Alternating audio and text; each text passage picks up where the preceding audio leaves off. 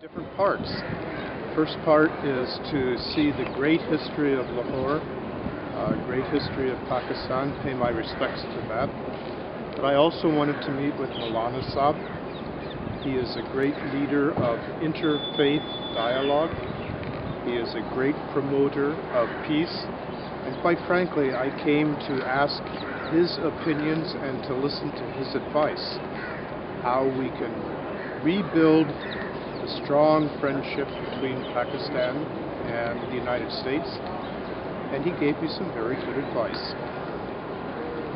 Are you frustrated here, sir? This is not my first time. I first came to uh, this beautiful complex of the mosque and the fort more than 20 years ago. And I tell you, the very careful historical restoration that I have seen happen over the last 20 years is very, very impressive. This is something that needs to be saved for the people of the world so the people of Pakistan can be very proud of it.